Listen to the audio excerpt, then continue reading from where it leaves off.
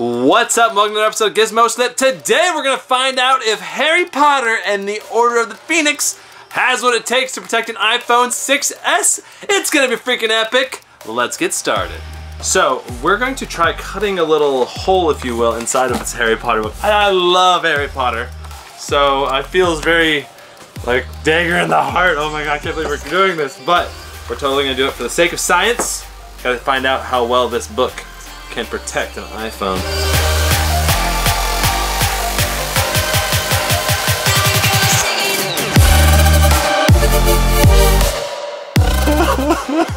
My childhood!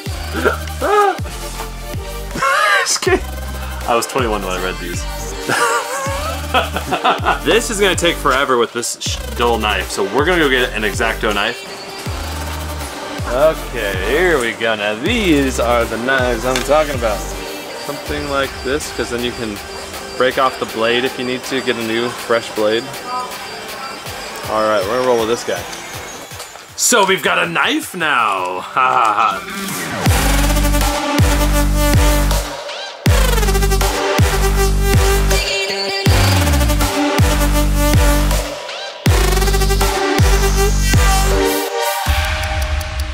All done, I think. Let's test it out. Here we go. Putting the iPhone in. Is it gonna be wide enough? Okay, it's not quite good enough. We gotta go do something here. See, that's the problem right there. When we cut it, it was at an angle, so we gotta do some extra cuts here to straighten this out.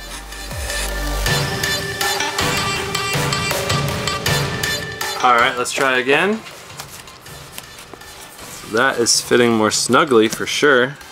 That's awesome. You can't even tell there's an iPhone inside there now. So maybe just like one little piece of tape right here. Yeah, just something to keep the book closed as it as it drops. I think otherwise it's totally just gonna fall out. Definitely. Like most likely. All right, so we're gonna secure this just a little bit better with some tapey. Do that all the way down to that.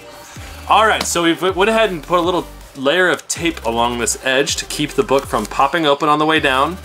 Do you think it will survive? Let's hear some opinions around here. Darren, what do you think? I think so, probably. Yes. I think Harry will probably manage unless it lands like I think on one of these corners, in which case the uh, iPhone could slip out and impact the concrete directly. DJ, what do you think? Nope. DJ is thinking Harry Potter ain't got a chance. All right, so what do you think? Vote in the top right corner. Here we go. Let's go to the drop site. So we actually drop tested this thing once already, but we lost the clip, so we're refilming today. Uh, as you can see, the book is just a little bit damaged. We have a different iPhone in here. No spoilers on whether it survived or not. Post your opinion again, whether you think it'll survive. Let's get to the drop test right now. Here we go. Okay, we're ready to go. In three, two, one, boom. Sorry about the delay.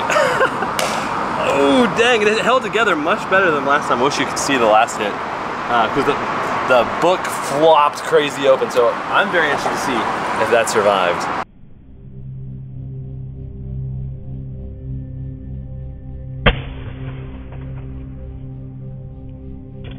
All right, let's take a look at the Phantom footage. Here comes the impact and crunch, crunch, crunch. the book just wobbles like crazy.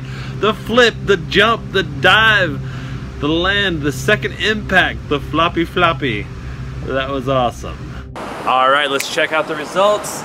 So we've got the top tape broke, the bottom tape broke, but this double layer of tape held pretty good. The book is actually in surprisingly good condition. I was expecting a lot more damage. Like, like this book looks like it was maybe read and dropped a couple times. And yeah, like that's impressive. All right, so let's go ahead and just pop this tape off. Just like that. And dun dun dun. Looks like the iPhone is just fine. Let's, oh yeah, the screen's working. Check that out. I'm really impressed, holy crap. So I'm actually a huge Harry Potter nerd. I played Quidditch in college. I was Ravenclaw team captain. I even have a shirt for it. Anyway, I'm rereading the series and I've just been enjoying the audiobook so much on this tour. We're going across America right now from Chicago, Denver, New York, not in that order, Orlando, back to Houston, and we've just been listening to audiobooks like crazy. An audiobook is my personal favorite way to experience a book because you get the voice actor and the inflection and the accents. It's just a really cool experience. One great way to get access to audiobooks is audible.com. They have a massive selection including all the books of Harry Potter. So if you want to get started on the Harry Potter series for free, go to audible.com slash gizmo for your free trial today. So if you've already read Harry Potter and you want to sink your teeth into another great fantasy series, you should go check out the Mistborn trilogy. It's got some great characters, a great villain, very intriguing magic system, and very unique fantasy world. Anyway, that's it for this episode. I hope you enjoyed it. We'll see you next time. Brandon Baldwin, out. It's incoming right there. Oh, wow. One. Splatted.